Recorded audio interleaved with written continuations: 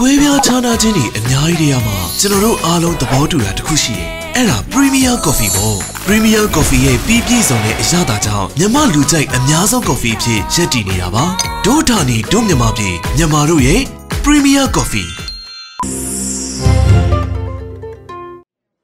ထိုင်ဝမ်ရွေးကောက်ပွဲဟာလွတ်လပ်ရေးကိုလိုလားနေတဲ့တမ္မရဆိုင်ရင်ဝမ်ရဲ့မူဝါဒတွေနဲ့ပတ်သက်ပြီးဆန္ဒခံယူတဲ့ရွေးကောက်ပွဲတစ်ခုဖြစ်တယ်လို့သုံးသပ်မှုတွေရှိနေပါတယ်။ တမ္မရဆိုင်ရင်ဝမ်ကတော့စနေနေ့မှာကျင်းပတဲ့ရွေးကောက်ပွဲမှာတွားရောက်မဲပေးခဲ့ပါတယ်။ကိုပိုင်အုပ်ချုပ်ရေးနဲ့ရပ်တည်နေတဲ့ထိုင်ဝမ်ကျွန်းဟာတရုတ်ရဲ့ပိုင်တဲ့နယ်မြေဖြစ်တယ်ဆိုတာကိုညှင်းပယ်ခဲ့တာကြောင့်တရုတ်နိုင်ငံနဲ့ဆက်ဆံရေးမပြေလည်တဲ့တမ္မရဆိုင်ရင်ဝမ်ကိုပြီးခဲ့တဲ့နှစ်နှစ်ကအာဏာလွဲပေးလိုက်ရတဲ့အတိုက်ခံအမျိုးသားပါတီဟာ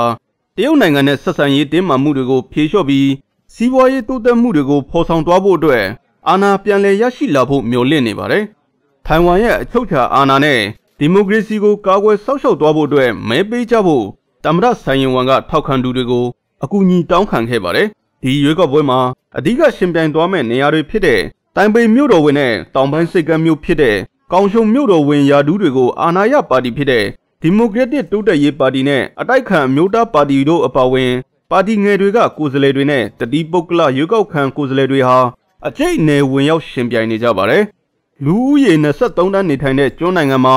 အစိုးရယာဒူပေါင်း11000ကျော်ကိုမဲခွဲဆုံးဖြတ်သွားဖို့လူပေါင်း19တန်းခန့်ပါဝင်မဲပေးမဲ့ဒီရွေးကောက်ပွဲဟာအကြီးမားဆုံးမဲဆန္ဒခံယူပွဲဖြစ်ပါတယ်